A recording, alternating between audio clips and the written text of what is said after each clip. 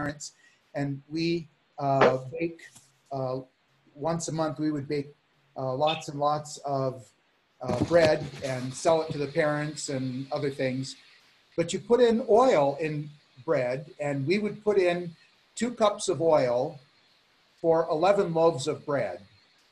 And what that ends up uh, doing is it makes the bread more moist and it gives it a better texture. But oil doesn't grow on trees. Where does oil come from?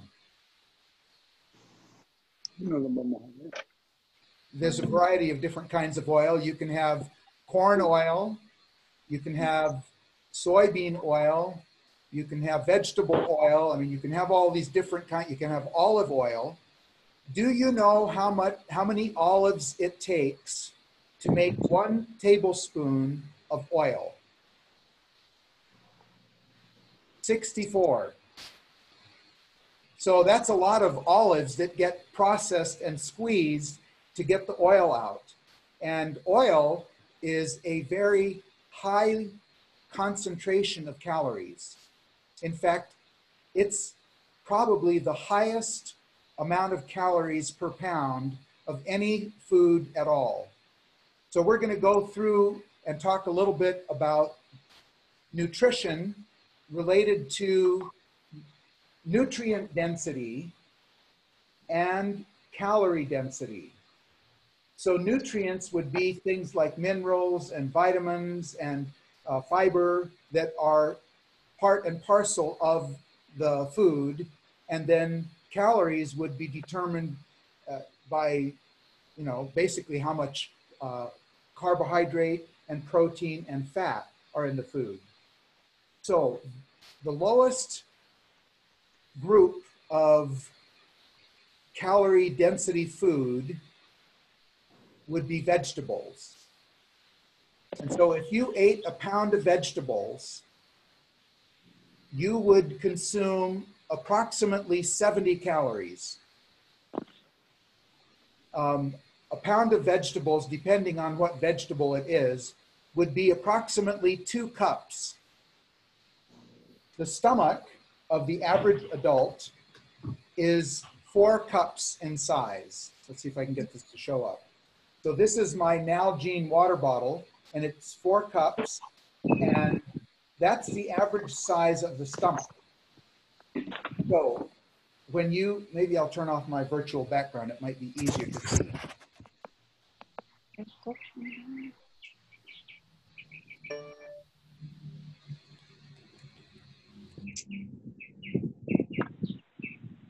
Oh, there we go. That'll be easier to see.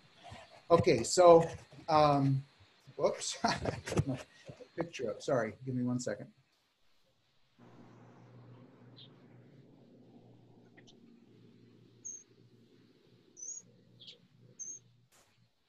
Oh, I've got to do something else here. So I guess I'll, I'll just go back to um, virtual background. Um, so, oh, I'm so sorry. What did that do? Oh, there we go. Um, don't mind it's playing games with me. My apologies. All right, so here is the quart Nalgene bottle, and this is about the size of your stomach. So if you put in two cups of vegetables, that would be about half the bottle full. That would be 70 calories of food. And if you were to eat um, what kind of vegetables would you like to eat? Do you like? Not for me to hear. Well, do you like carrots? Do you like celery? Broccoli. Broccoli. Do you like cauliflower? I don't have my hearing. Um, there are just so many different kinds of uh, vegetables you can eat and fill up with, and they are all extremely high concentration of nutrition, but very low concentration of calories. So if you filled your stomach up with, let's say you ate a potato, and let's say you ate a couple servings of vegetables, um, you would get, if you fill this thing full, you might get 400 calories uh, in of vegetables. Now, fruit is the next group of food we're going to consider. And fruit is approximately 160 or 170 calories per pound. So they are a little bit more than twice, well, about twice as calorie dense as um, vegetables. So if you were to fill up your stomach with four cups of fruit, uh, it would be about 350 to 400 calories. All right, so now we're going to go to bread. Uh,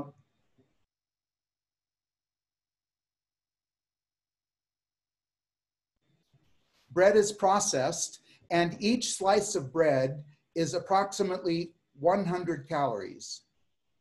Um, and the bread, how many, how many slices of bread could you put into a one quart jar?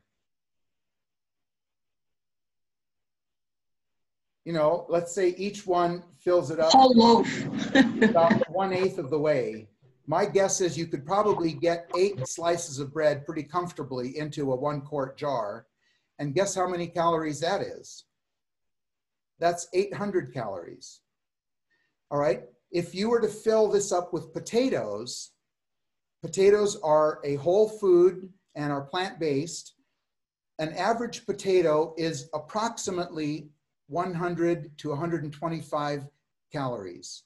So if you were to fill this up with potatoes, you might be able to get four or maybe five potatoes in here. Could you eat five potatoes? Yes or no? Most people couldn't eat five potatoes at once. So if you were to eat, guess, guess how many calories there is in ice cream? Jillian. It's bad news, ladies and gentlemen. It's bad news. ice cream is approximately 2,500 calories per pound compared with vegetables, which are 70 calories a pound. And have you ever eaten the whole quart of ice cream? Oh, yeah.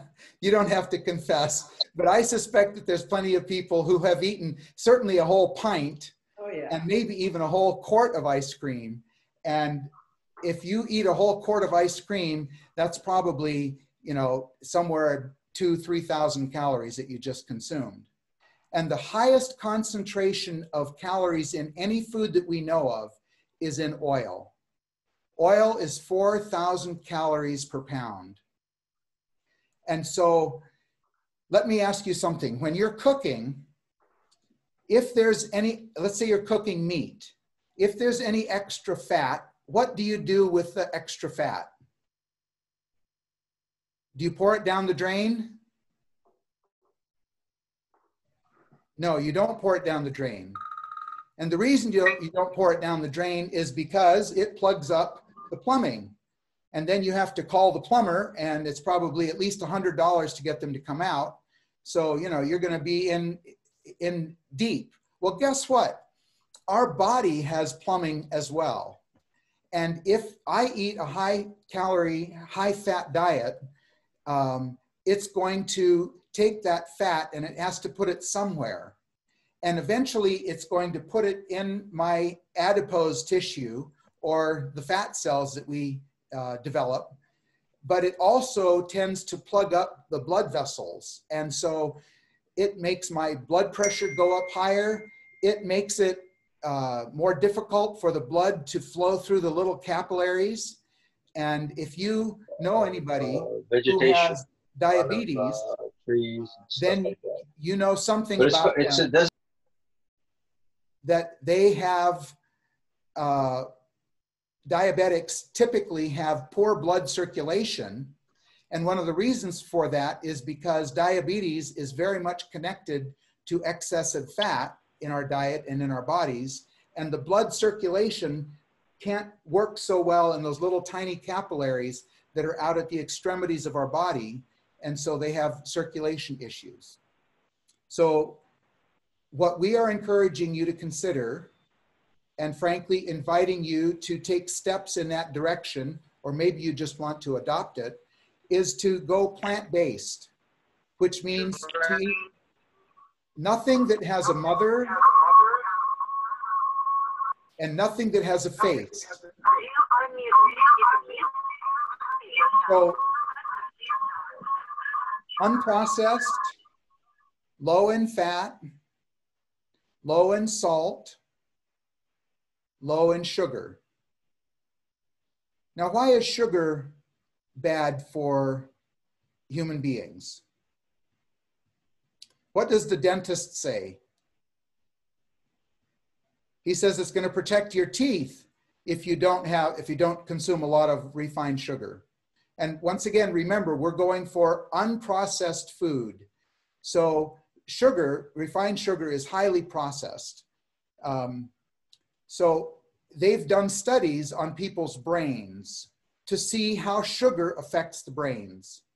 And there's a study that demonstrates the comparison between the effect of sugar on a brain and the effect of cocaine on a brain. And it stimulates neuro neurological activity.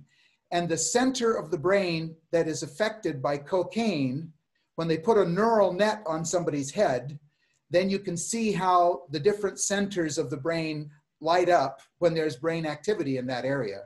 And so in the pleasure center, the brain lit up brightly when the person was given uh, a dose of cocaine. And later they gave that same person sugar, a dose of sugar, and that pleasure center of the brain lit up even more from the sugar than it did from the cocaine, demonstrating that it's, it's addictive. And I think we all know that to be true, that it's a very, sugar is a very addictive thing. So nutrition, we're encouraging people to adopt um, this plant-based life, uh, lifestyle. And how does it boost your immunity? Well, fruits and vegetables uh, have an abundance of micronutrients. Um, maybe you're taking multivitamins. And when you take multivitamins, you tend to get large dosages of the different vitamins in that multivitamin. We had a, gentleman by the name of Dr. T. Colin Campbell, who is a nutri retired nutritional biochemist from uh, Cornell University, come and lecture at our church a couple times. And he said, somebody asked him the question, should I take uh, vitamin supplements? Are they good for me? And he said, Well, they are good for one thing. They are good for separating you from your money. He said, They come in such high dosages that the body simply cannot handle that much of a dosage of the different multivitamins. And so he said, Your body tends to pass them on through and they get eliminated. And he said, Most you're flushing most of your money down the toilet. But if you eat uh, plant-based food, it, the micronutrients come in very small dosages that the body can handle and absorb, and it accomplishes what needs to be done. Uh, plant-based nutrition, there's a high, uh, there are high antioxidant fruits and vegetables. So those high antioxidants boost our immune system and boost, boost our our, our ability to fight them off. Berries, plums, and prunes are some of the high antioxidant fruits, and cruciferous vegetables like broccoli and Brussels sprouts and spinach, cauliflower, and then kale and garlic are also very good. So if you will add more fruits and vegetables to your diet, it will help. UCLA did a study and they determined that if everybody in America was to eat one more serving of fruit or vegetables per day, it would result in a lowering of the national mortality by 10,000 people per year just from eating one more serving of fruit and vegetables. And then somebody asked the question, well, what about organic? Should we go with organic? And uh, this was Dr. Esselstyn who was uh, explaining this study. Uh, I'm sorry, this was Dr. Michael Greger who was explaining this study. He said, well, yes, UCLA was able to factor in the organic component, and they found that if everybody in America ate one more serving of organic fruit and vegetables, it would result in a reduction of mortalities by 10,010. So it would be an additional 10 people who would live if we all ate organic. So his uh, remarks were, it helps, but it's not essential. All right, next let's go to exercise. And we're gonna have to scoot along if we're gonna get done by four. Okay, so when we talk about exercise, what do we mean? Well, um, you getting your body moving, using your muscles, and getting your blood flowing a little bit more. So uh, some of the exercise, probably the best exercise that pretty much everybody can do is what? Walking. Obviously, you need to consult with your doctor before you make any changes in any of this. We are not offering you a prescriptive program. We are simply providing you with scientifically based information, and then you can figure out what you want to do with it. But when it comes to exercise, running uh, or walking, walking's the best, uh, but certainly running can be. Here are six exercises that we can do without any equipment. So the first one would be walking or running. The next one would be squats. Now, what is a squat? Well, it's where you stand up straight and then you bend at the knees and bend at the waist and go into a sitting position or a semi-sitting position and hold that for a couple seconds and then stand back up. So walking, squats, push-ups. All right, well, you might say, oh, I haven't done push-ups in many years. No problem. Get down on your hands and your knees and extend your arms straight out. And if you can't go all the way down to the ground, just bend your arms a little ways and push back up. And if you do a couple push-ups to start with, just to get started, it will begin to build up your muscles and get your body uh, doing exercises. Crunches.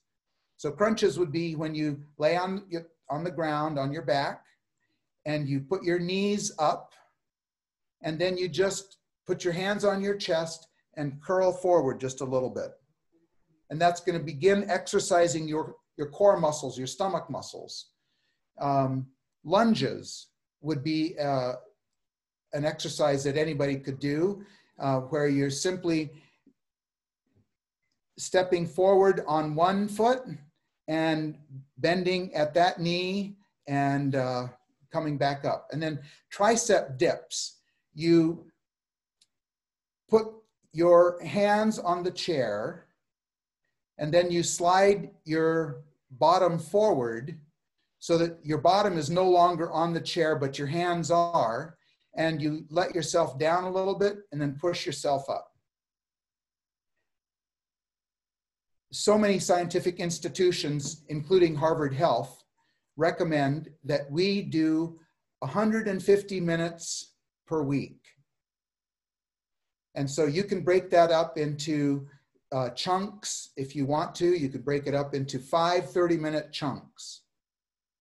And if you haven't been walking and you start walking with your doctor's permission, um, you know, maybe you can start off with 10 minutes of walking and gradually you can build it up until you get to the point where, okay, so what, what's the benefit of having your, um, your, your exercise? Well, one of the things it does, it gets you breathing harder. And so that harder breathing means you have more air going into your body and out of your body.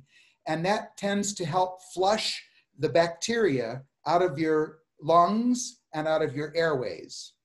So that's good. It increases your circulation. So your, your body automatically raises the level of heartbeat according to what the needs of the the body it, it is or what the needs are and it that gets those white blood cells circulating more rapidly through your body and they are the immune fighters. And so they will find bacteria and they will find infections and they will attack them.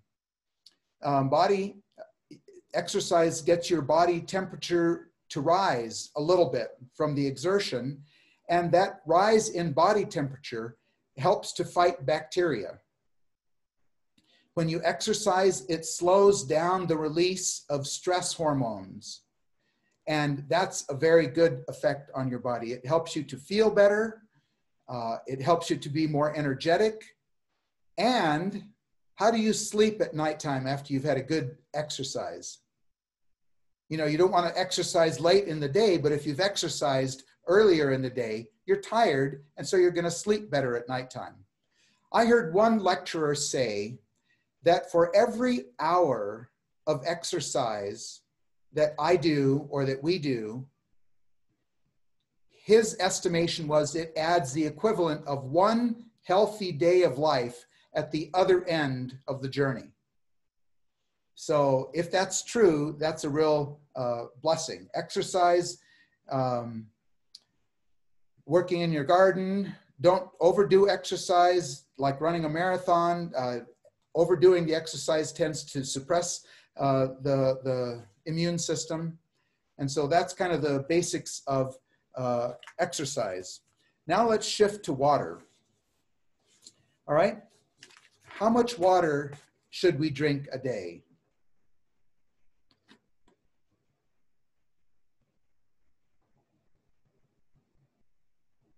Well, apparently there are a number of different ways of determining how much water people drink or should drink.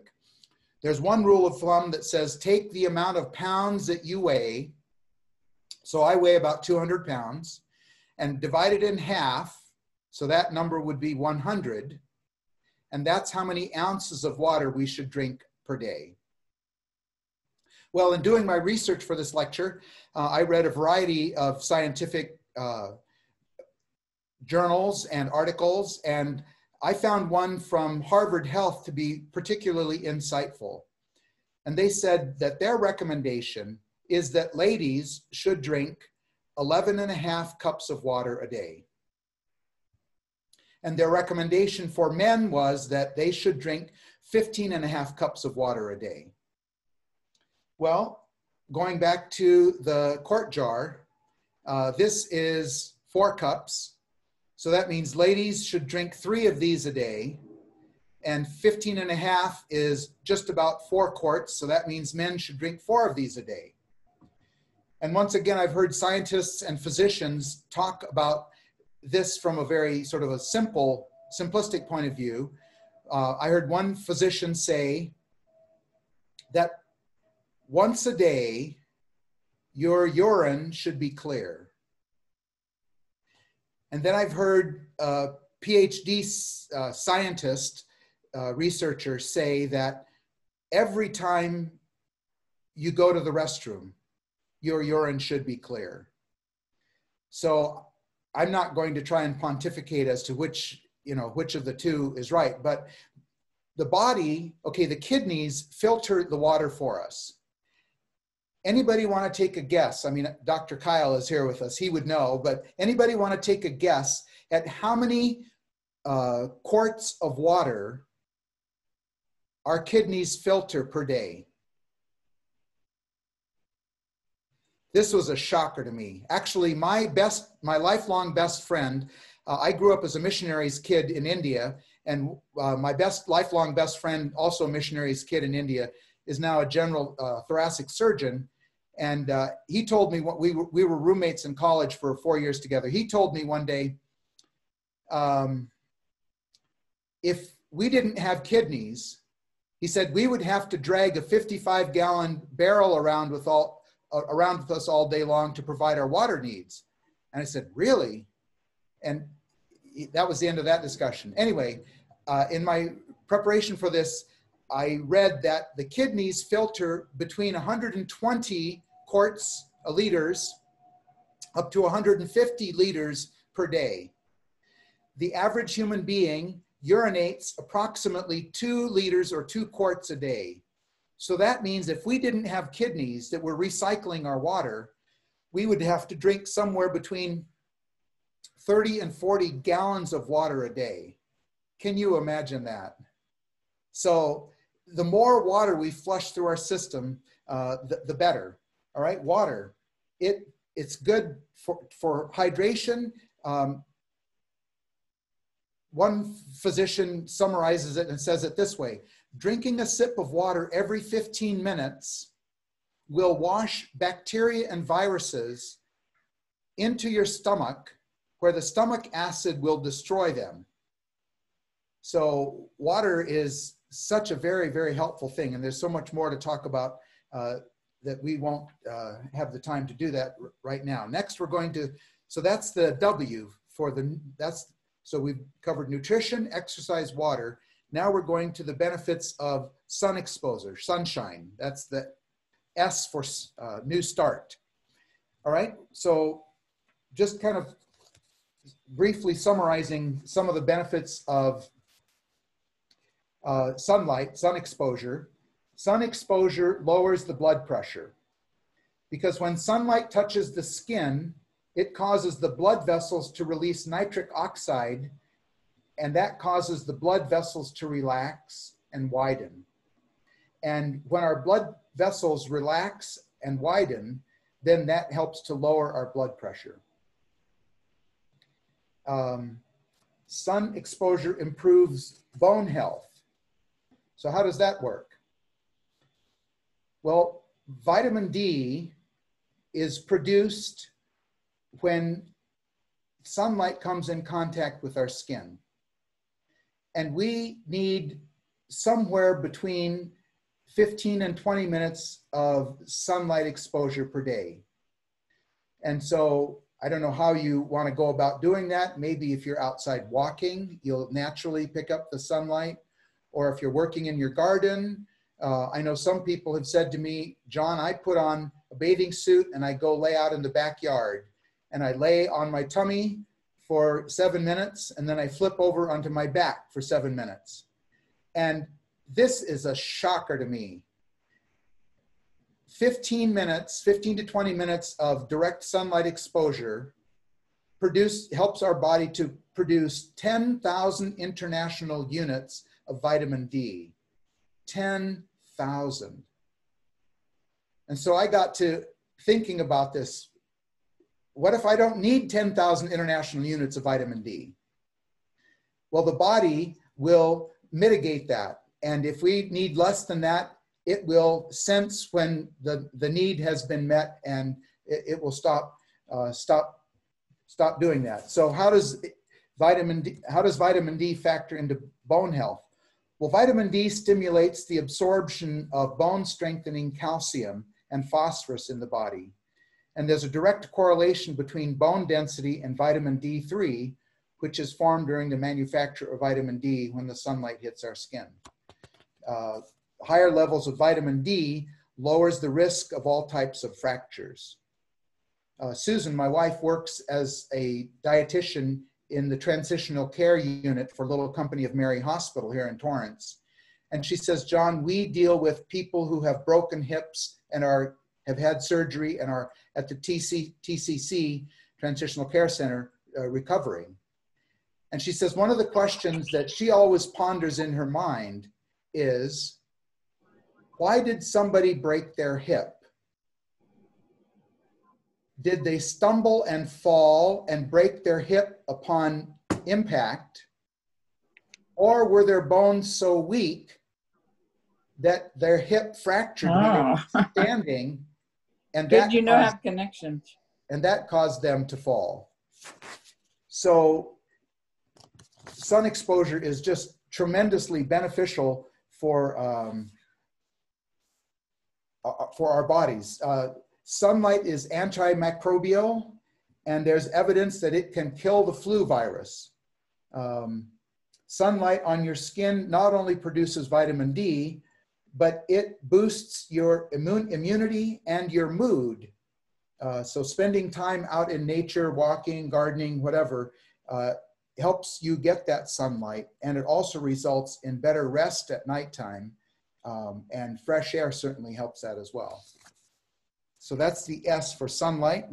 Next, we're going to go to air. So we're looking at the word start, S, oh, sorry, T, temperance. I apologize. I almost skipped that. Uh, so temperance, what is temperance?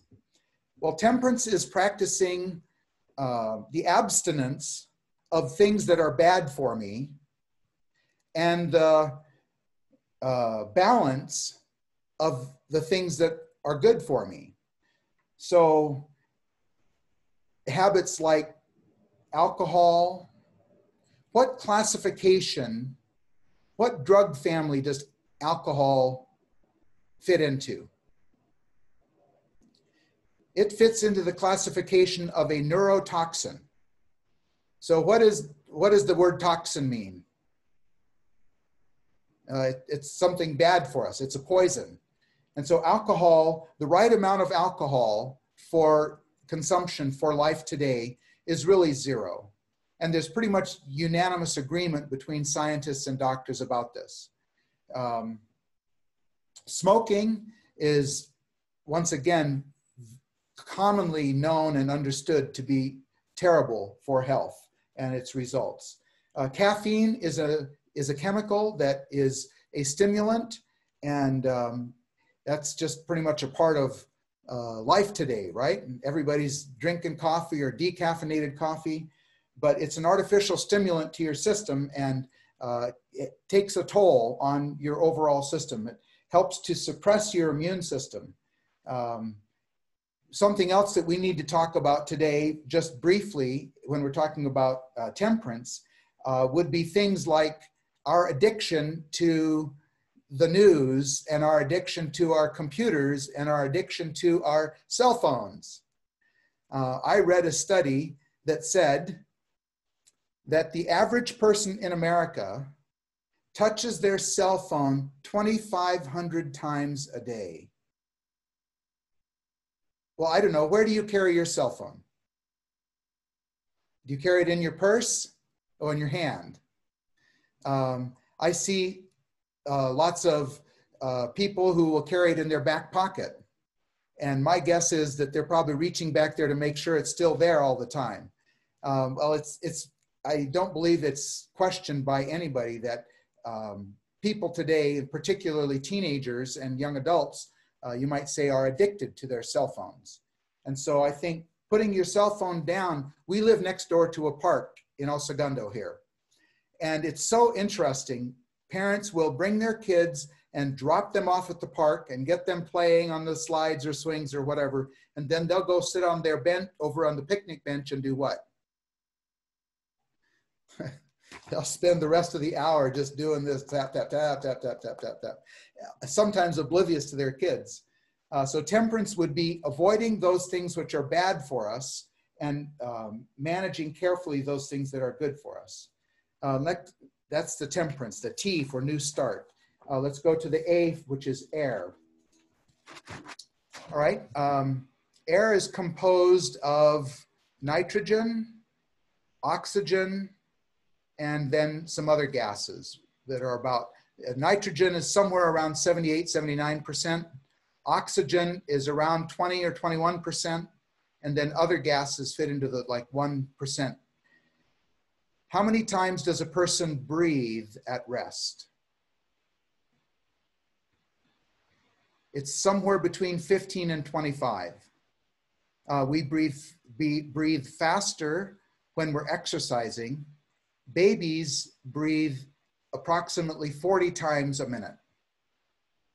So the air that we breathe in has 21% oxygen, and the air that we breathe out has 15% oxygen. So when the air is in our lungs, um, we consume somewhere between 5 and 6% uh, of the oxygen that's there. And the thing that triggers us to exhale is the buildup of carbon dioxide in our system. All right, so the benefits of fresh air. Well, it helps improve your blood pressure and your heart rate. Because if you're getting plenty of oxygen and you have lots of oxygen exchange in the small little alveoli sacs of your uh, lungs, um, then your heart doesn't have to beat so, so fast.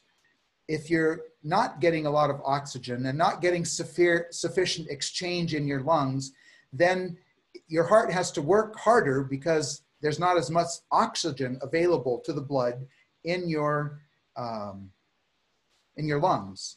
All right, fresh air strengthens your immune system. How would that happen? Well, researchers tell us that fresh air is a natural disinfectant. Fresh air can kill flu viruses and other harmful germs. Germs can circulate inside buildings, so on days when you can't get outside, be sure to refresh the air by doing what? Open those windows up. Get fresh air in and get fresh air moving. So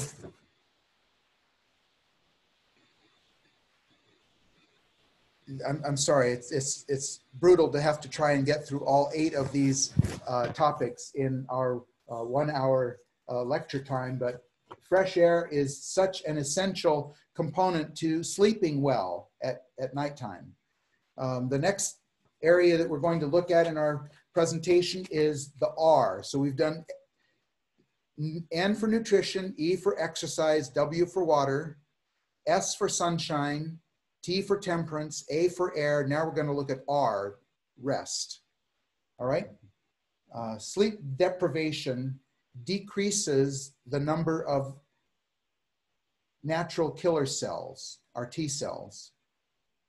Getting a good night's sleep boosts the immune system by enhancing the T cell production in our body, uh, which adheres to and destroys cells infected by pathogens and viruses.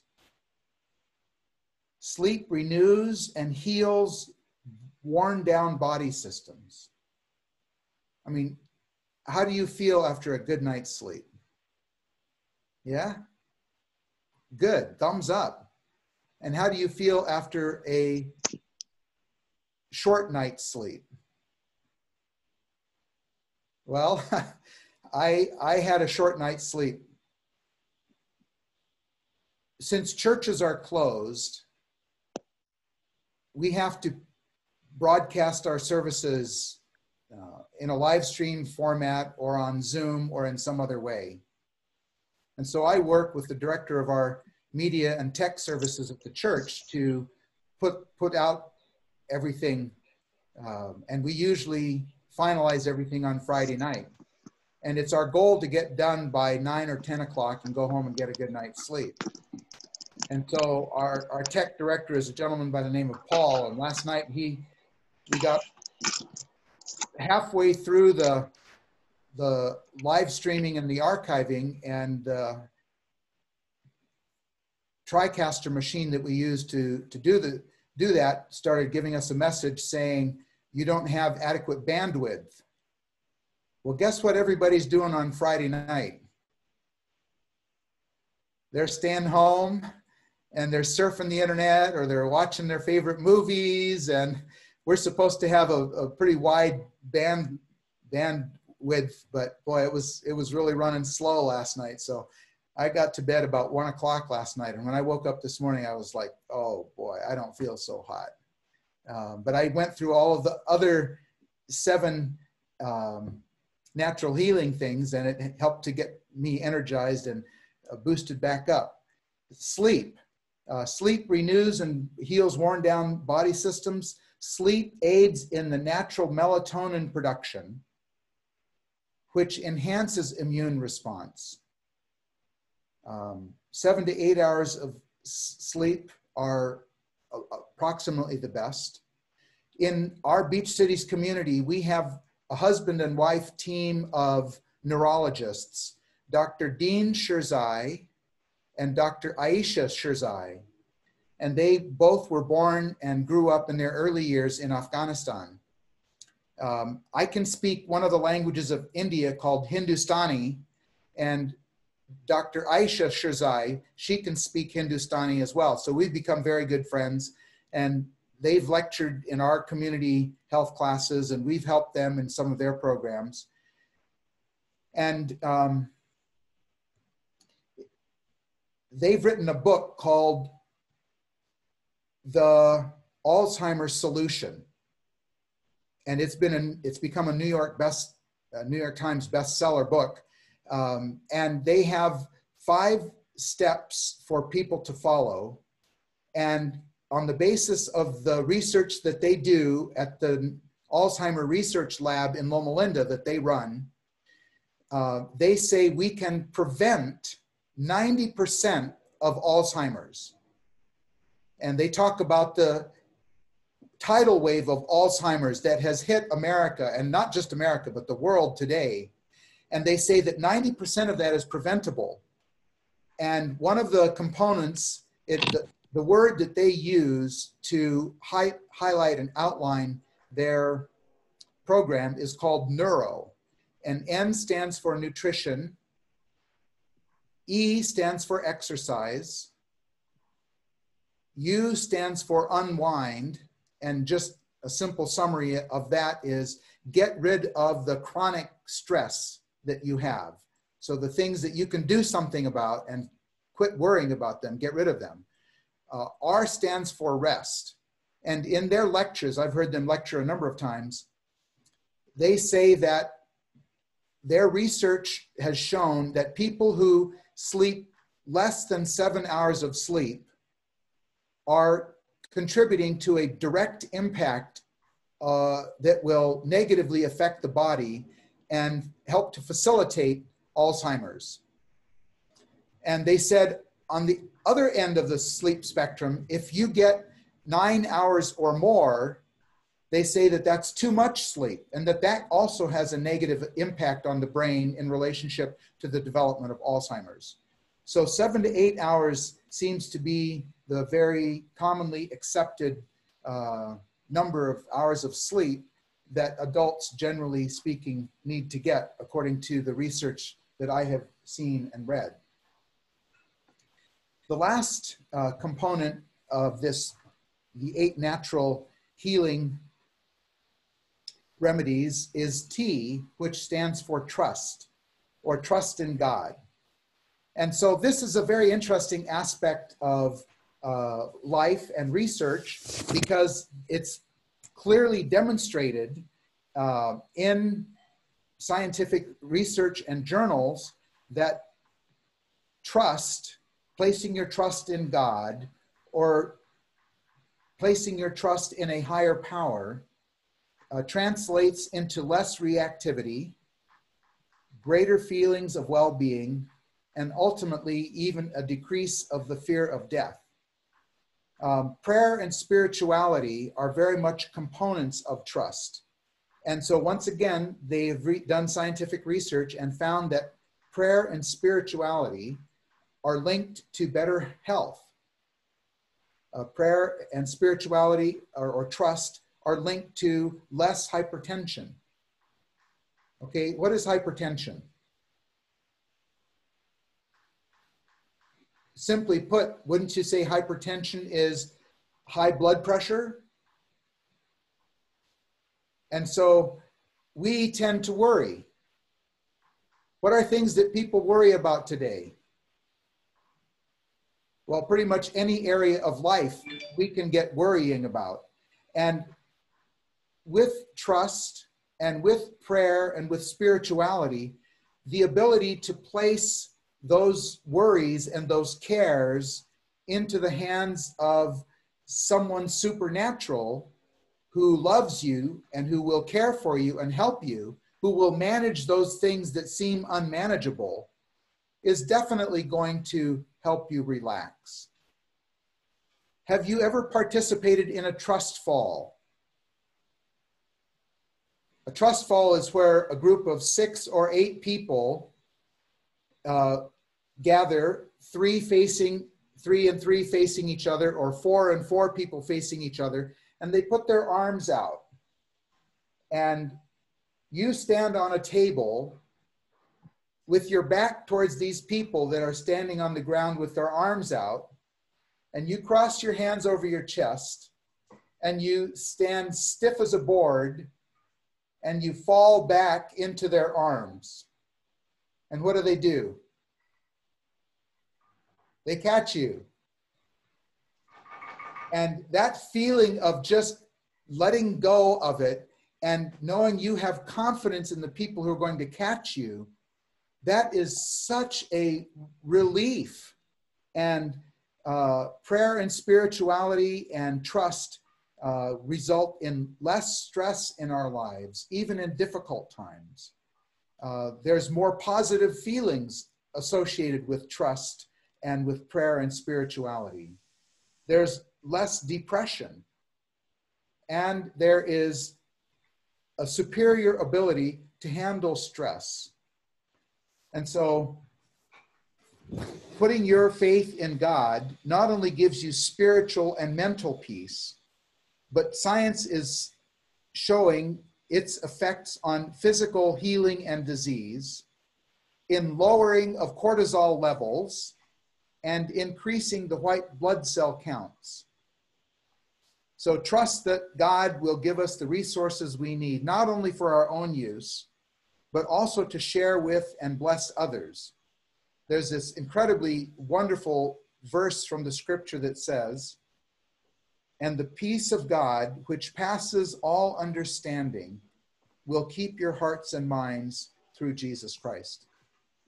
And so that's a brief survey of these eight natural healing remedies, New Start. So let's review them. N stands for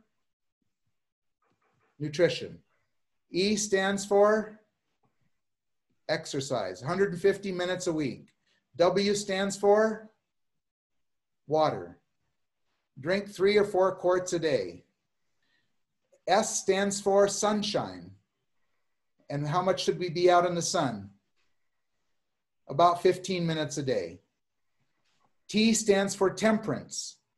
So that means completely avoiding the things that are bad for us and balancing the other things that are good for us, managing them well. A stands for air. Get out, get exercising, get exerting yourself, and that good air will fill your lungs and oxygenate your blood and increase your immunity.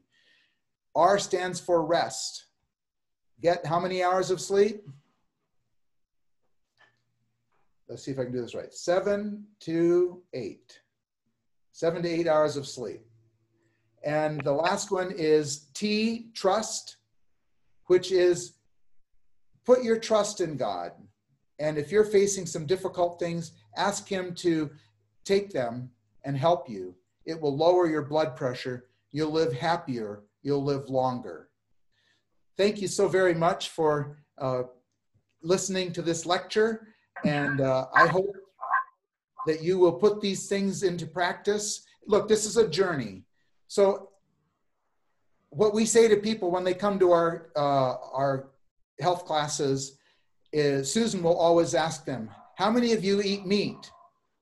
And so the people will raise their hands. How many of you uh, are vegetarian? They'll raise their hands. How many of you are vegan? They'll raise their hands. And we say to people, if you're going to go home tonight or tomorrow and you're going to have a steak, we're asking you to take one small baby step. Put a piece of spinach on top of that steak and eat the spinach with your steak. and so we want to encourage you to take baby steps that are uh, manageable and sustainable in the direction of better health. So thank you very much. You've been a great audience, and this is what I think about you. All right, now we're going to transition into the kitchen, and Susan's going to give the cooking demonstration. So give us just a minute to do that transition, please.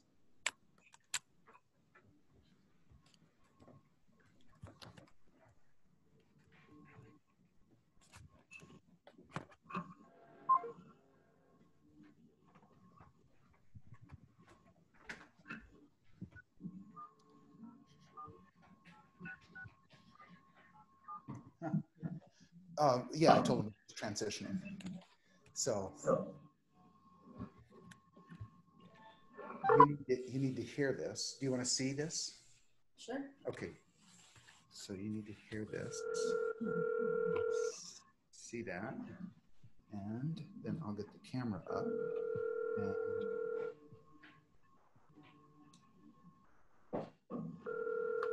Hi, Mom. Can I call you back later? Yeah, I just have been listening to the class. It's been so oh, good. great. I'm not It's- home right now. Okay, you can well, it fill me is, in so- later. it, it is so fantastic. I'll talk to you Oh, later. okay. I gotta go. Okay. Okay, love you. Bye. Love you, bye.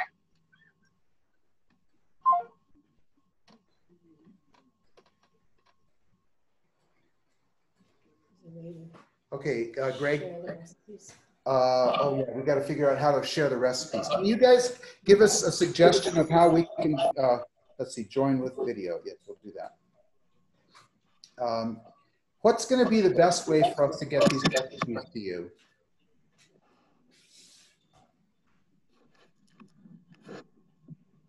What was your question? How can we get the recipes to everybody? Do you have a slide somewhere or, or if you show it, you can send it to us and we can put it on the uh, participant screen. Can you You enable can it also, or- if they're on PDF, you can also add them to the chat and people Oh, can okay. You know what? download it as they like. Yeah, put it on. Susan says maybe she can put the recipe up on her screen and join the meeting. Uh, and, and then you can take थोड़ा मिर्ची but that is okay. मिरची चाहिए थोड़ा but not. Está bien, mamá? Está? You put it on the chat, on the oh. chat screen? Put it, in the chat room. Okay, that, that's a good good idea. Um, uh, so if you have them on PDF, you can uh, uh, add them to the chat as a file. It says there's a little place where you can do click oh, file. file and chat. Upload the the document, and then anybody can download it from there to Oh, their gotcha. devices or computers. Okay, thank you very much. Susan, uh, uh, share it with me. Go to AirDrop.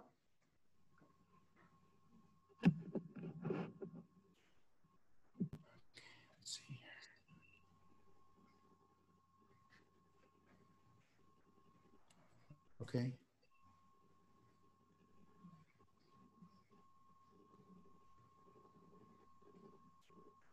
Thank you for your patience.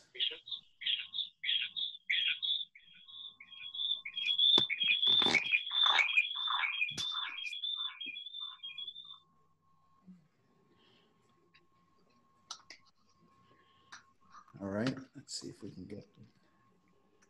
Is it one, one recipe or two? Two recipes.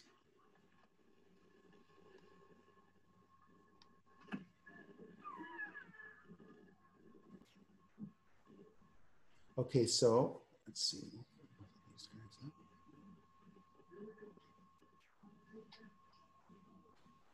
Can I do more than one uh, recipe, one file at a time? Can I do more than one?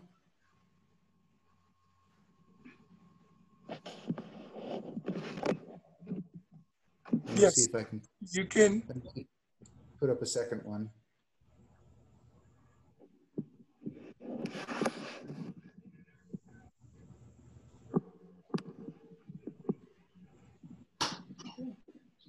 Thank you so much. I really appreciate your help with that. Okay, so there are there are two files up there, and now I'm going to get my phone going here and see if we can make this all work.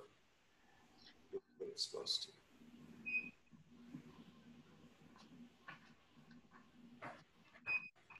Okay. Um, let's see. One of these pages has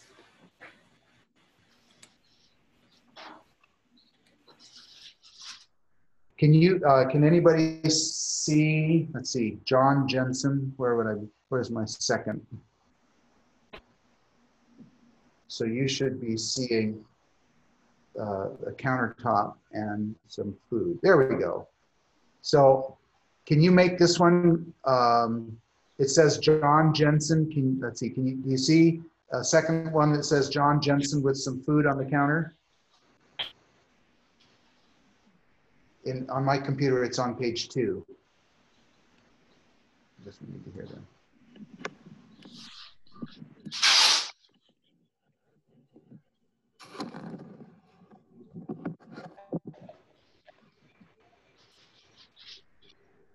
Okay, um, let's see, how can we make this speaker view?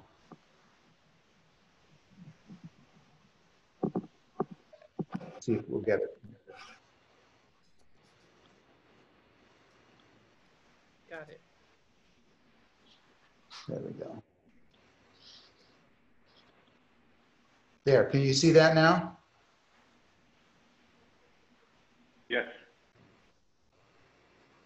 Okay, so here's my beautiful wife, Susan. And uh, you're on, Susan. Oh, ready. Okay, so you should have the two recipes that have been um, on the chat box. And I'm going to start off with the peanut butter chickpea cookies. Please give us a thumbs up if you can hear Susan's audio.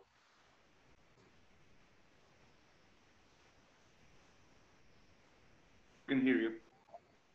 Okay, you can hear it. All right, good. Okay, so you guys are good. Okay, so let's make the peanut butter chickpea cookies. And actually, to begin with, um, I eat these cookies for breakfast. I'm not a real big breakfast person, um, but these cookies are jam-packed with nutrition and they're really easy to make. You can put them in the freezer and take out a few for breakfast or whatever, um, and they're really healthy. So if you all have the recipe, you can follow along with me.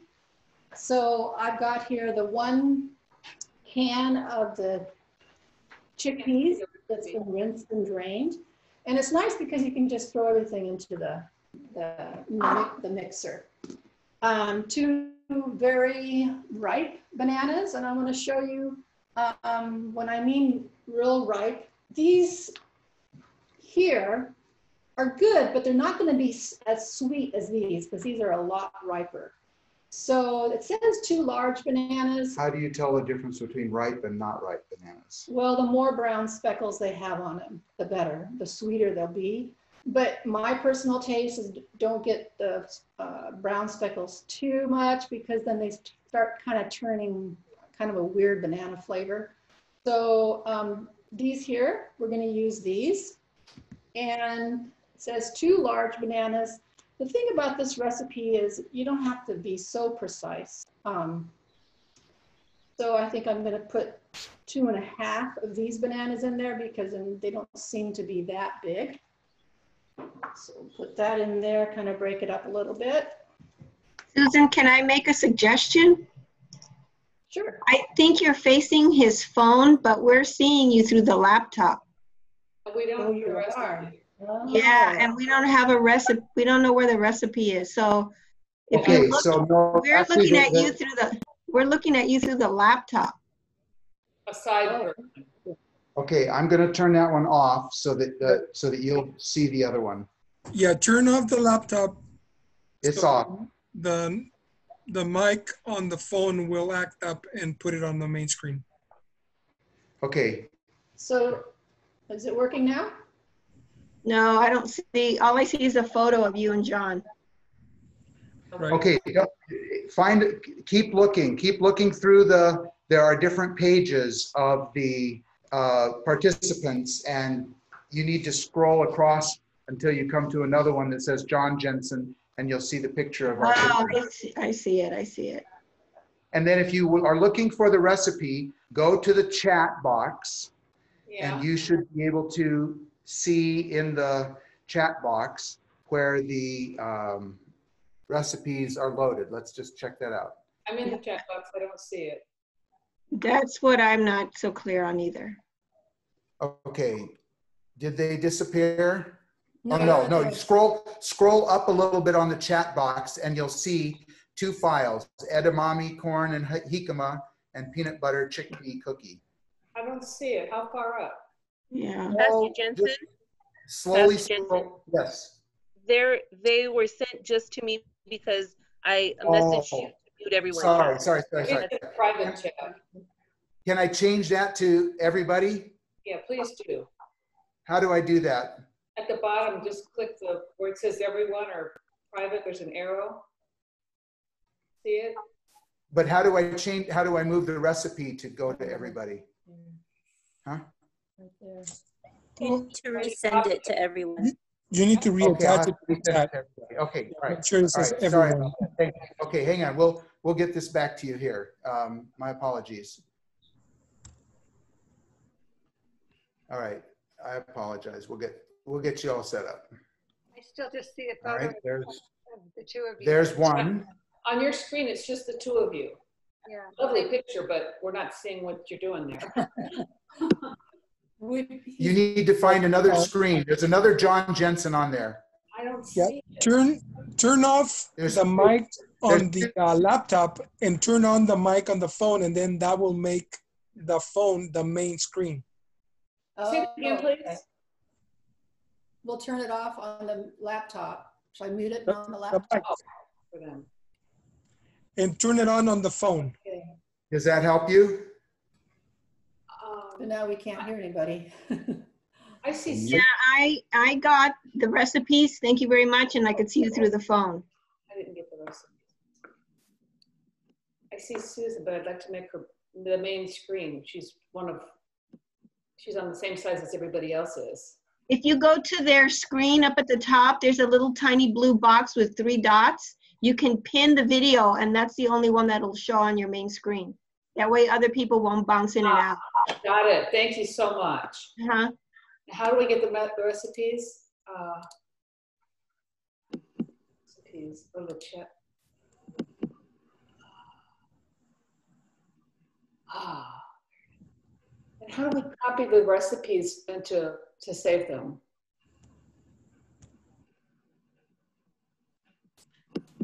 Uh, you, you click on the, um, on the file on the chat room and then it'll, it'll allow you to download it to your computer. So click on it and then get out of Zoom or, No, you- you don't get out of Zoom. It just, um, No. just download. It won't take you out of Zoom. But I, I went to her, I went to her picture on the top and there is three dots on the right and you click on it and now you can see her. You can see her in her kitchen there. Right. And if you, if you hit pin video, it'll just, it'll, Right. it'll lock that one in. hmm, I hope it gets saved. Okay. Thank you.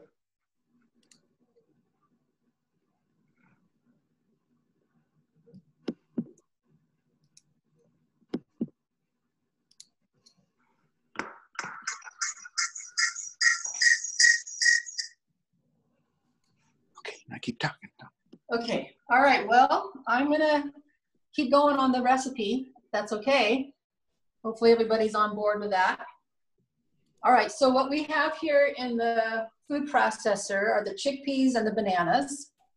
And like I said, this is really a nice recipe because you can just throw everything into the food processor. And um, we've got here, let's see, next is the peanut butter. So we, I just am using smooth, natural peanut butter. I think it's the Costco Kirk, Kirkland brand. Um, love peanut butter. If you're allergic to peanuts, you can use, um, well, sun, sunflower butter. Those are seeds. So if you're allergic to nuts, you can use sunflower butter. Some oats. Put the oats in there, three fourths cups of oats. Um, I'm leaving out the maple syrup or the date syrup.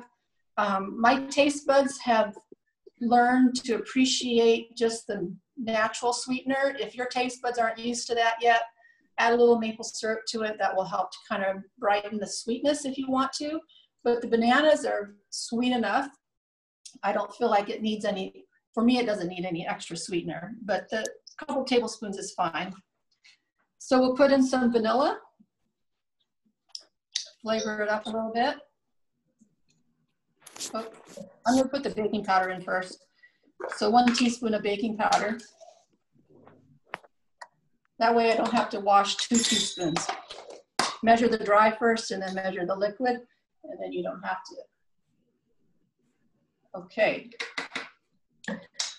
So we pretty much got everything in there, and you're just gonna process it until it's smooth.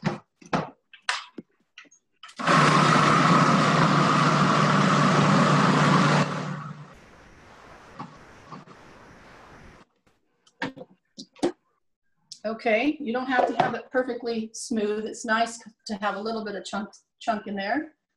Um, then I'm gonna put my favorite add-ins is um, these Enjoy Life mini chips. If you're gonna eat chocolate, chocolate chips, these are the, the best because you will see that the only ingredients are premium chocolate. What does it say there? Okay, let's go over here. We'll really look at the ingredients here. So it's got cane sugar, unsweetened chocolate, and cocoa butter. Three ingredients. That's pretty, pretty natural. And I love chocolate, and this is one of the, the ways to, for me to eat some chocolate in a healthy cookie.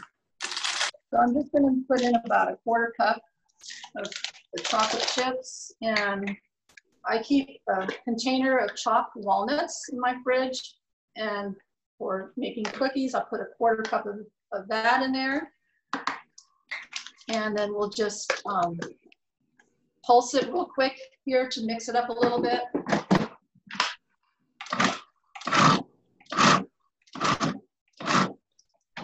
Okay, there we have our cookie dough.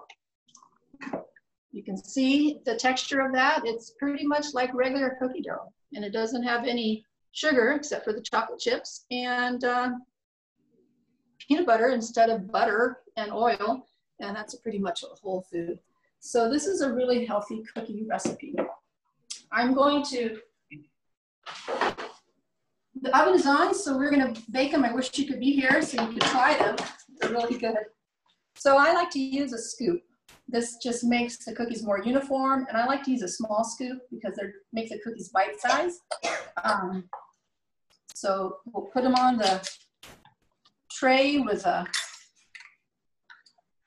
with a Silpat non-stick tray. You can use parchment paper.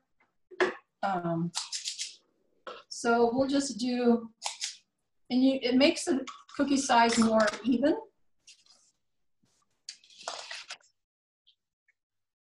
And these are really, really good. And my your bowl, big bowl of fruit in the morning. So in these cookies, you got your oats, you got your peanut butter, you got your bananas, you got, um, what else did we put in there? Chocolate Chickpeas. Yeah, so if, one thing about a plant-based diet that I really like to encourage is fiber. And in this recipe, the fiber comes from the oats, the chickpeas, and the banana. So this is a really good source of fiber too. Not only, and it has good carbs in it and it has good protein in it and it will sustain you. So this is an easy way to get breakfast to hopefully sustain you until lunchtime. I'm gonna just put these in the oven real quick.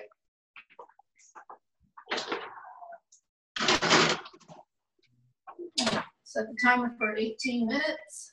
Okay, there you got the chickpea cookies. Anybody have any questions or, is, or can we not ask answer questions? Any questions about that recipe? Can you? I have a question. I have a question. Sure. Where do Yes. you get that large uh, container of vanilla? Oh, this is um Costco. Oh, yeah? Yeah, this is from Costco. Okay. okay. Some, this one does have alcohol in it. Um, some people are against that. So Trader Joe's has a non-alcohol vanilla if if you'd like to to do that. Smart. Final. Smart Final has a non-alcohol vanilla? No, they have no. Oh, they have vanilla. Can you replace, can you replace the almond, I mean, the peanut butter with almond butter? Yes, you definitely can. That would be a good replacement. I have a question. Did you put in the cooked steel cut oats? No, I put in rolled oats. Oh, okay. Yeah, rolled oats is probably better than steel cut because they're they are not as whole, you know, they'll bake better, they'll mm-hmm. absorb the, the liquid better, and it'll be better in a cookie. Okay, Yeah. thank you. I think the steel cut might be good if you soak them first. But One more quick question. and Can you time- give us the quantities of each thing you put in for those of us that didn't get the recipe in can't? Like, I, the I know, quantities? yeah, I know it's two bananas. Yeah. But Okay, don't yeah, know- it's two large, one can of chickpeas, like a 15 ounce can of chickpeas rinsed and Okay. drained. Got it, And then two bananas, got it. and then half cup of natural peanut butter. Okay, And I use the smooth, you could use chunky if you like more chunks. Mhm. A teaspoon of baking powder, teaspoon, okay, and then three fourths cups of the oats, got it. one teaspoon vanilla. Okay, one teaspoon, okay, thank you. And then you just put it all in the food processor, process it, and you can add in, if you don't want chocolate chips, you can add in raisins or craisins and some nuts, yeah. No, coconut. I mean, it's a very I versatile. just, recipe. when you were doing it, uh, I just Googled where I could buy those chocolate chips. I got them on Amazon, two big bags for eight dollars. I didn't know where Yes, and actually, that's a good price because Sprouts sells these, and and I think they're like five dollars a bag. yeah, well, you get two Mhm. and it's on Prime, so if you have Prime, it's free shipping. Great to know. Yeah, yeah, these are good. They they have different varieties. I like the mini because I make the cookies small. Um, Yeah. But they have a dark chocolate one. They have a lot. You know, it's a little bit more pricey than the average bag of chocolate chips. But Okay, it- for some reason, I just feel better about eating these because there's they're more whole, right? So I'm gonna eat chocolate. I'm gonna eat the, the healthiest chocolate I can. I like the no, non-sugar. There's no sugar. Could you put blueberries in them? You Didn't can you put say, dried blueberries in there. Dried blueberries. The other ones might Yeah. be too moist, the fresh ones. Yeah, whole blueberries might uh, give too much liquid off. Uh-huh. Because I think unless you put more, if you thicken up the batter, you could put more um, fresh blueberries in there. Thickening with more oats, or what do you think? Yeah, more oats. Yeah, just put a little bit more oats in there, and then you could put fresh blueberries in there. I think that would work. Great, thank you. Have Okay, a question. I have Sure. a question. Can you make that gluten-free recipe by just substituting the, you know, gluten-free flour or oats, that kind of stuff? Well, this yes, this recipe is actually gluten free if you use gluten free oats. Oh, okay. Yeah. And remember, if you are gluten free, you have to buy the certified gluten free oats. Yes. Okay. We, if you would like, we will post the recipes from today's uh, event on the gethealthy.la website. And so if you couldn't find them for the download uh, on the Zoom call, why we will post them up for you after the uh, after we're done uh, on the gethealthy.la. okay, great. Okay. All right, let's go to our salad. And it's the edamame corn salad. And salads are really a great way to eat plant-based because you can eat a lot of whole whole foods, whole vegetables. And I like salads that are have a lot of substance to them. I mean, I like the leafy greens and all that, but for some reason, these salads that have a lot of substance, you know, the corn and the edamame and the jicama, they, they, they actually last longer in the fridge too, so you can eat them for a few days. All right, so I'm just gonna pull out all the ingredients here. I've already done some chopping. Um, you all know what jicama is, right? Right. This is part of the, I, I got this at the 99 cent store, believe it or Wow. not. Yeah, it's, and they have good jicama. I get that, get that there a lot. Okay, so we got the corn and the edamame bags. Let's look at the recipe. Does everybody have access to the recipe? Hopefully. Yes. All right, so it says a 12 ounce bag of green beans and a 12 or 16 ounce package of frozen corn. All right, so I didn't really pay attention. This is a 12 ounce bag of the edamame and, and it's been fine. Just throw that in there. And this is a 16 ounce bag of corn. That's been thawing. Throw that in there.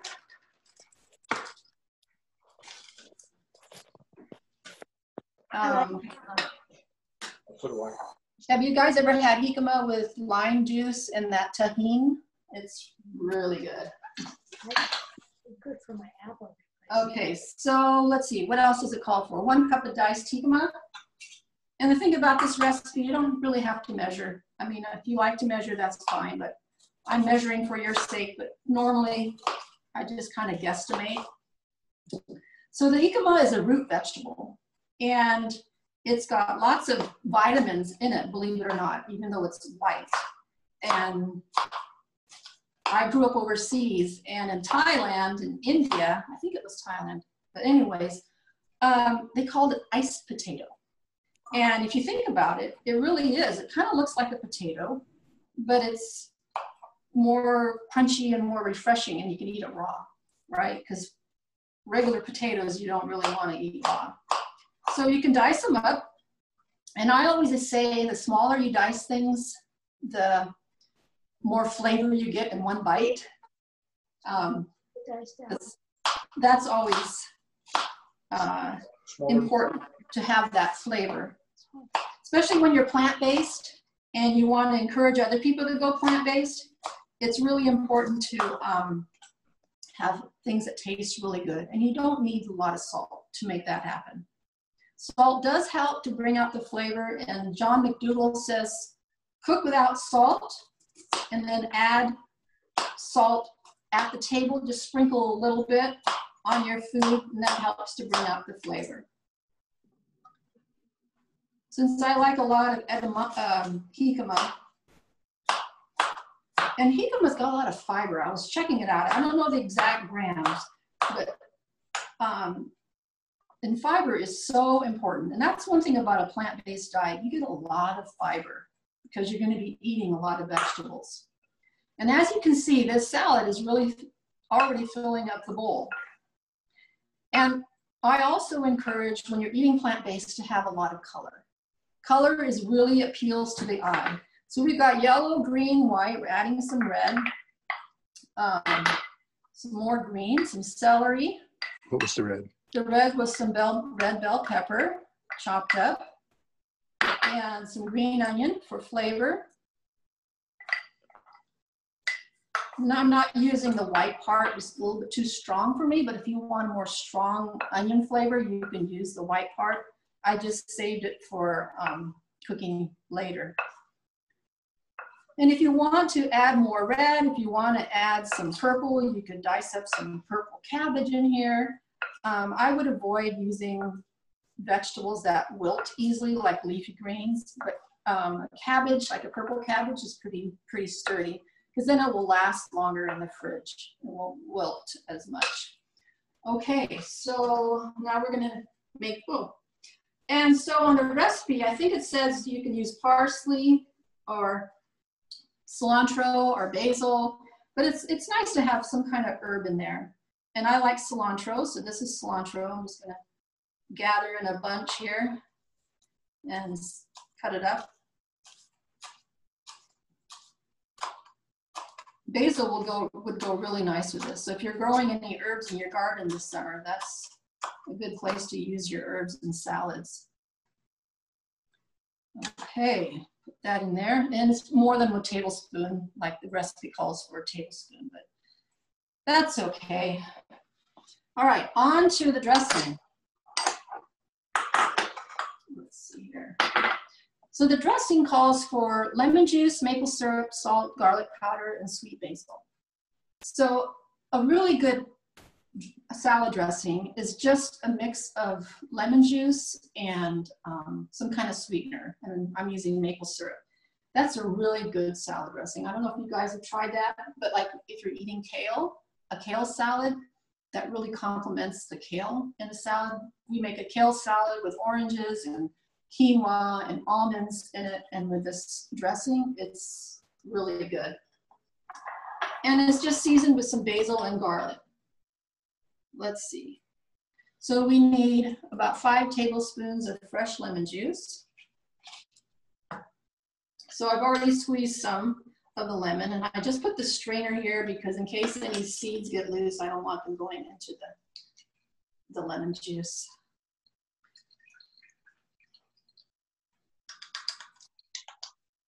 So five tablespoons is a little bit more than a quarter cup. Oh, I've got a tablespoon here, so we'll just do five tablespoons. One, two, this is three, a little more than three. We'll use this last half here and call it five.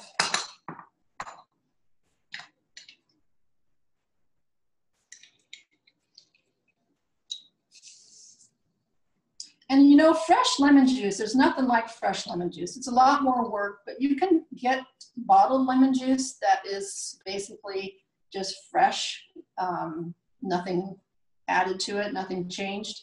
And that's, that's fine too, but I always say fresh is best. So we've got the lemon juice, and we'll do a couple tablespoons of maple syrup.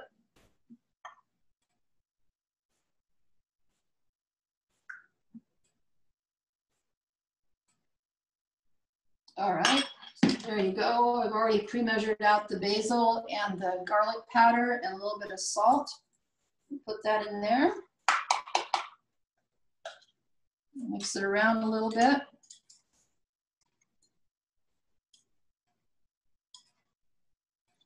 And add it to the salad.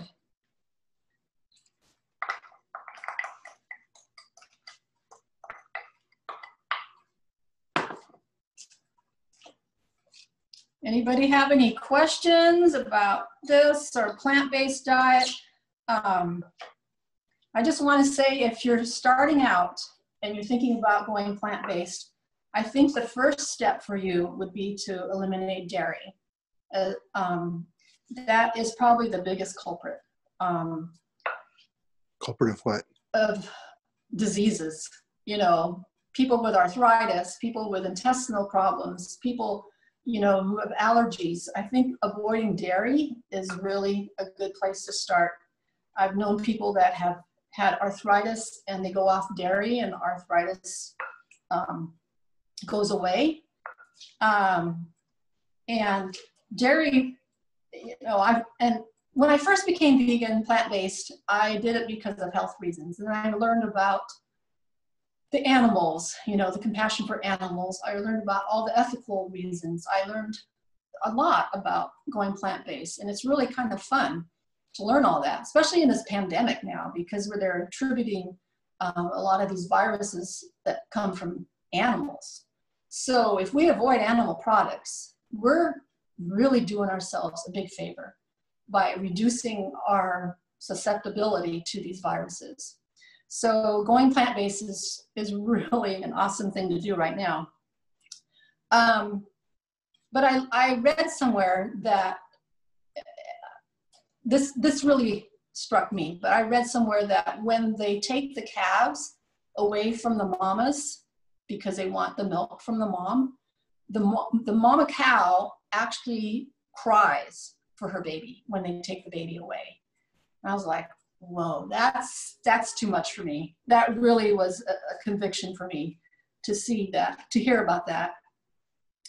Um, and also, I if you're going to do ditch dairy and then also eat more vegetables. You cannot go wrong with eating more vegetables. They've got fiber, they've got antioxidants, they've got vitamins and minerals that you can't get anywhere else. I mean, vegetables are key. They're really important. And we have access to so many different vegetables. So try to eat like one raw vegetable with your meal and one cooked vegetable with your meal. And don't worry about amounts. You can just, you know, eat cups of vegetables and that's fine. Now, fruits, on the other hand, are naturally sweet. They're good for you. They offer you a lot of fiber and, and antioxidants and nutrients. But the calories in fruit, I wouldn't eat cups and cups of fruit. Okay, so but they're still necessary. Um, eat a lot of whole grains and a lot of beans. If you can eat more beans, wow, those, those beans will help to sustain you. They'll give you good fiber, good protein. It's amazing. Beans are really good for you. And we've got beans in here, the edamame. Those are a bean. we've got corn in here. Corn is a grain. It's got good carb, carbohydrate and good um, fiber in here. Um, and then we've got stuff for color, we've got stuff for flavor, and this is not a very expensive uh, salad to make. And you can see, I don't know how my husband and I are gonna eat this this week, so you better come on over and help us eat this up. So sorry, I asked for questions and I started talking a lot. So anybody have any questions? I do. I have a question. Um, Yes. My son is having a lot of health issues that are diet related. Um, he's been working with a, a nutritional doctor. He's not vegan and neither is the doctor, but he has given up a lot of dairy products and meat products and eating more fruits and vegetables. He kind of has a form of leaky gut. And he oh. was, he was here for a week visiting and he says he does not eat corn because he learned that all corn is all GMO. What do you- Oh, I see. What do you think about that? Because I still eat corn. I love corn, but he won't eat it because he says you're not going to find any natural growing corn anywhere anymore. Okay, well, my husband's dying to say something. Well, go ahead. Yeah. No, after you. Yeah, well, so your question is regarding the GMO or regarding the corn or both? The corn itself is. Can you find naturally growing corn that is not GMO? Yes, yeah, definitely. You would have to probably go to Whole Foods. Um, okay, go ahead. My husband wants to, dying to say something. um, I've I've done some research on that, and um, there's pretty much unanimity that the bulk of the GMO corn that is raised is fed to cattle, and that the bulk of the corn that is for human consumption is non-GMO. Okay, that sounds good. Because I don't give. Okay, cookies, the timer went and the cookies are out of the oven. Um, they're just like little, little nuggets, but, uh, they're a little bit brown on the edges. They look really good. Um, if you like flat cookies, you could always just flatten them out before you bake them. But yeah, these are ready to go. Come over and have some. What is, share. what is the screen you're using there on your pan? Oh, that is a, um, let me get another one out. It's called Silpat. It's a silicon pad mat. You can get them at Costco. Yeah, you can get these at Costco or Amazon. These are amazing um, for baking cookies, but even veggie burgers. So does that, eli- I take it that eliminates by doing that, you don't have to use any oil on the pan itself when you bake things. Correct. Yeah. And sometimes even with parchment paper, which you don't have to use oil either, the veggie burgers will stick. But with these, it comes right off. It's amazing. You don't have to use any oil. And um, they're easy to clean. Sometimes I don't even clean them because they're- they come off so clean. Um, yeah, these are essential if you're really cutting back on the oil.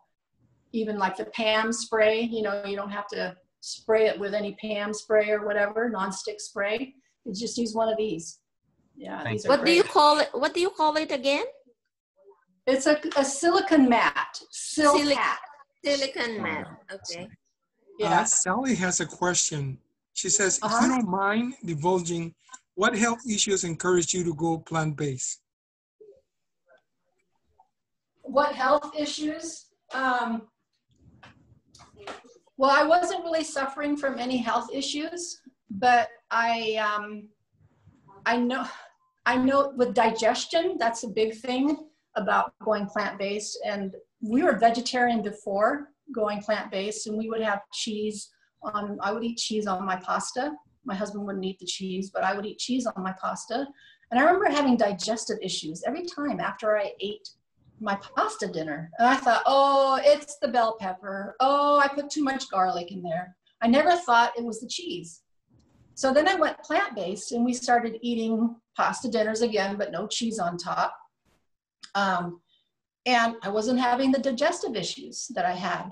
I was like, wow, you know, that's amazing. So just little things like that really make a difference. I hear people say that it helps to make their skin clearer, like like um, the acne goes away. Um, because with eating more fruits and vegetables, you're eating a, a anti-inflammatory diet. If you're avoiding sugar and processed foods too, that's part of it. Remember, whole foods, plant-based is not vegan really. It's more eating foods in their natural whole state as possible. Um, because vegans, boy, if you want to just eat vegan, you can eat Oreos and chips and soda and all that. We don't advocate that. We advocate the whole food and avoiding all the processed oils and sugars um, as much as possible. And that's that will give you the anti-inflammatory diet that you need for for acne or for other um, just even recovering from a cold or recovering from an infection or something, if you avoid those processed foods, the sugars, the oils, and the highly processed foods, you will recover a lot faster. Kathleen, Kathleen has a question. Yeah, sure. Um, see if I'm on. Oh, yeah. Um, what do you do if a recipe calls for oil? What's the replacement if a recipe is asking for oil? Oh, well, it depends what the recipe is. If it's a, like a cookie or um, a baked good like that, you can use applesauce. Um, instead, you can use, um, some people even use like um, tahini or peanut butter. Um, the let's see, in a in a salad dressing, if you want if you want to avoid oil, um, oh, there's so many different things you can do. You can use like chia seeds, blend that up. Um, that makes it have that viscous kind of uh, texture to it. Um, a lot of times when I see recipes for salad dressing that have oil, I just leave the oil out and I increase the um, lemon juice or um, in that way. Um, and you can saute without oil. You just can just water. Just use water. Yeah, just use water. Yeah, it's it works great. Yeah. Okay.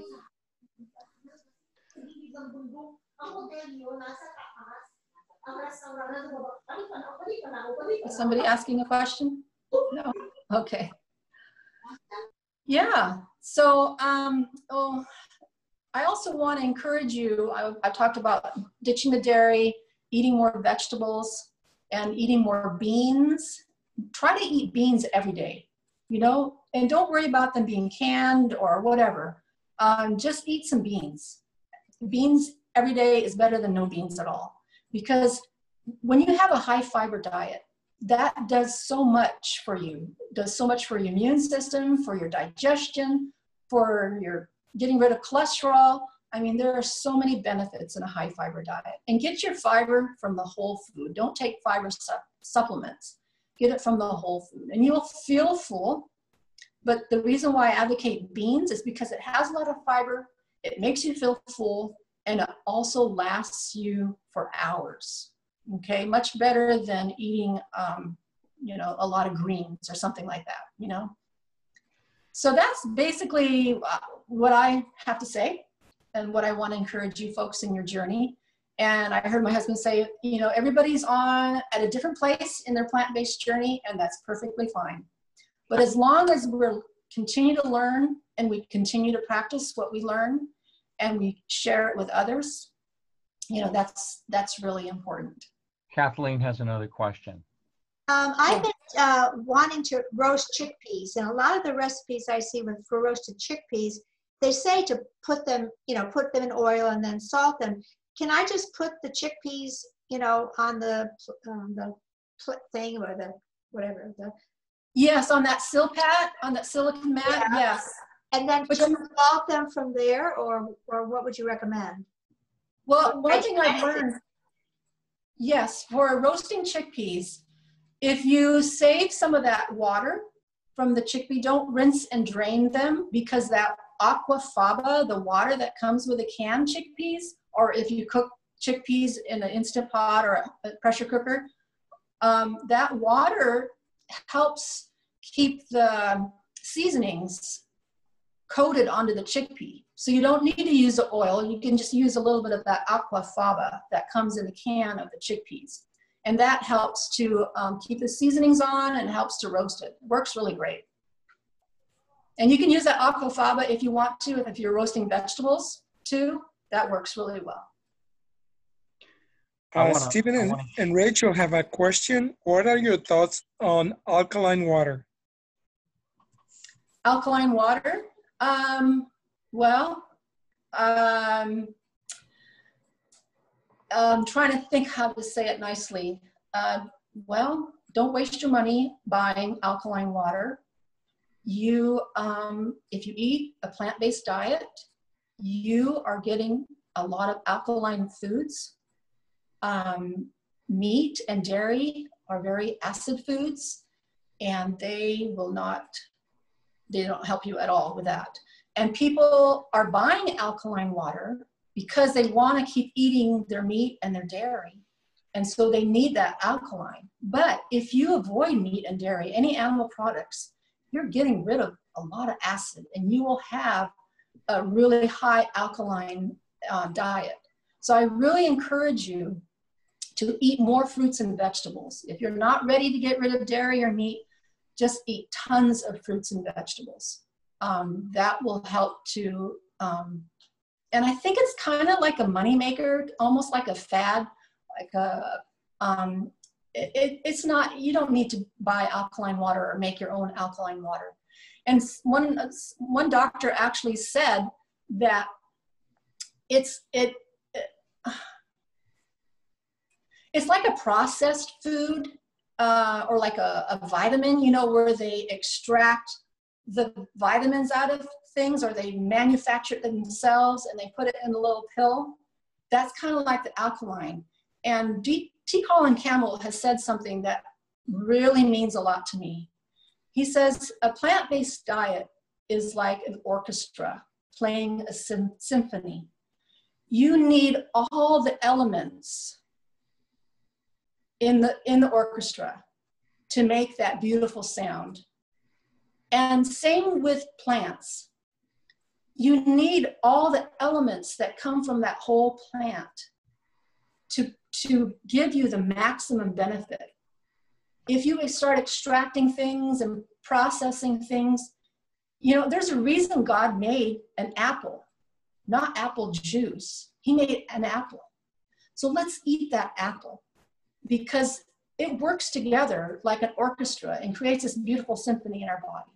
So that's why, you know, we really advocate whole foods rather than processed foods. And that really, I don't know, that's, that just really strikes me as something really beautiful and very, um, uh, I don't know, very encouraging. Can I say, can I say something? Can Sure. anyone hear me? Oh, yay.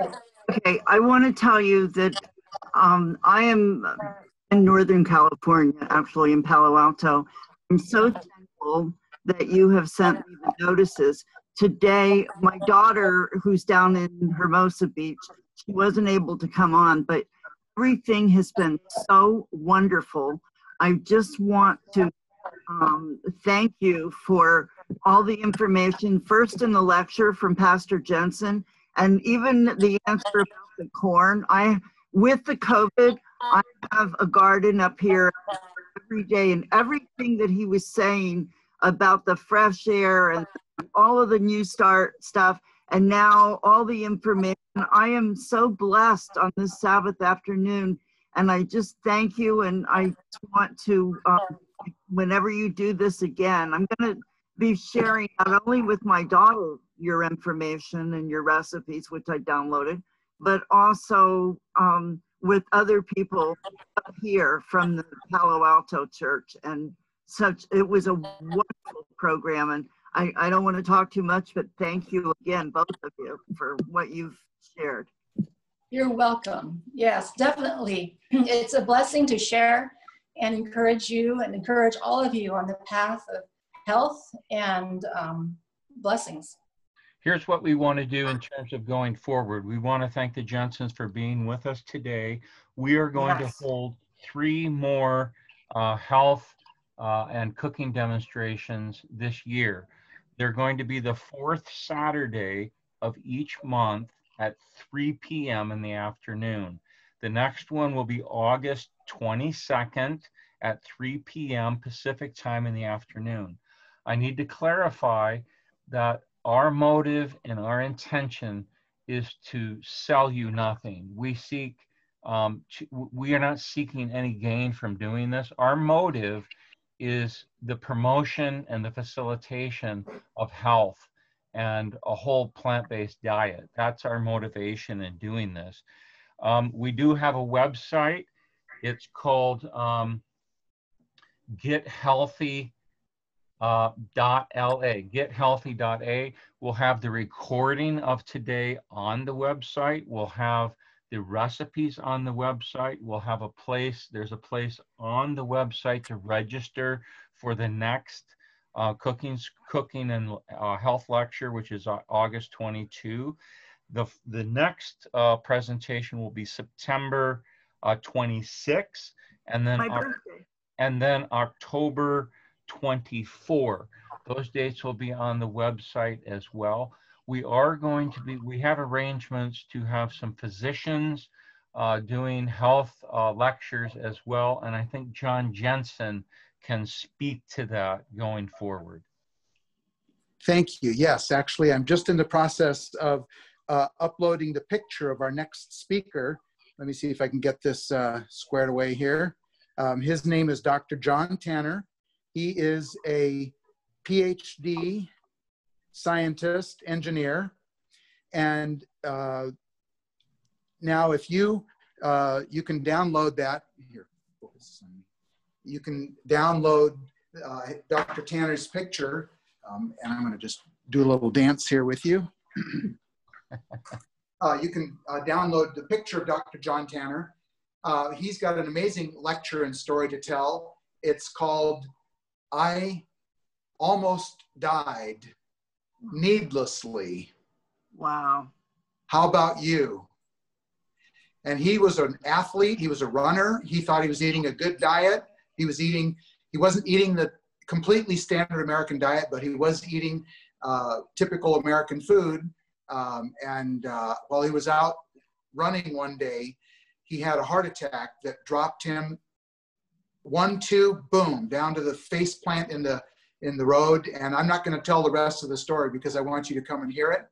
Uh, so we will have Dr. John Tanner uh, speaking by Zoom on Saturday afternoon, August 22, and then we will follow him up with another uh, person who will give an excellent cooking demonstration. It's most likely going to be Anna Evans, but we're still finalizing the, the, the arrangements with, with her or with another person. And uh, we're so happy that you came.